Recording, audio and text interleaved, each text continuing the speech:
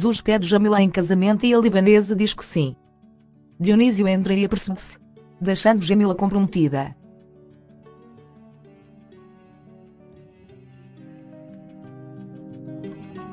Aisha diz que já percebeu que Raissan está triste com a decisão que tomou e avisa a irmã que ainda se vai arrepender.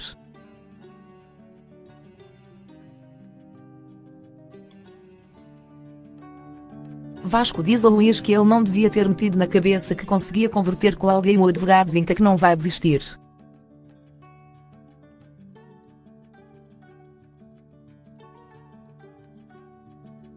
Joana declara-se a Cláudia.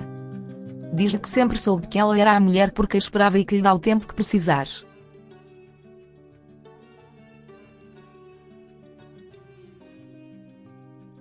Entretanto, Arthur vê algumas fotos de Alexandra e acaba por se recordar que foi Jesus quem o criogenou.